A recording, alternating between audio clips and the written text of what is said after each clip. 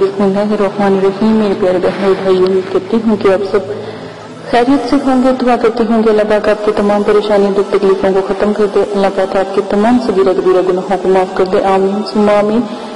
आज मैं आपके साथ पढ़ाई लेकर आई हूँ, वजीफा लेकर आई हूँ, बहुत नायाब है, बहुत आला है, लेकिन ये उन बहनों के लिए है, या उन भाइयों के लिए है, जिनके बीवी नाराज़ हो जाती हैं, उनको राज़ी करना या जिनके शोहर नाराज़ हो जाते हैं, उनको राज़ी करना।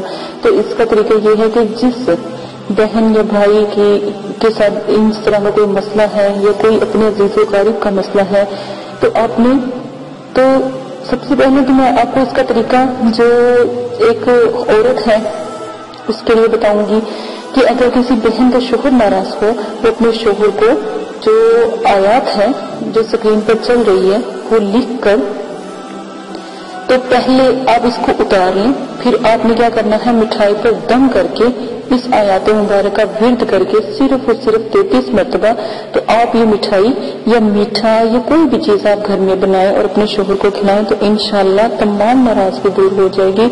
अल्लाह के कलाम में बहुत बड़ी बरकत है। आप करके देखिएगा इनशाला ज़रूर कामयाब होंगे।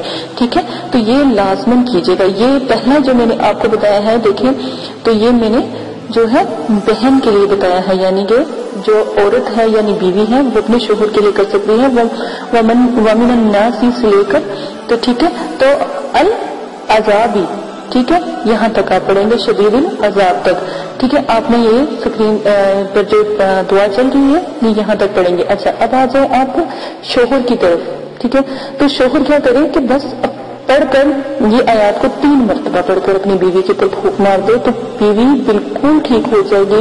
कोई नाराज़गी, कोई दुख, तकलीफ़, कोई ऐसी घर में बदमस्ती पैदा नहीं होगी।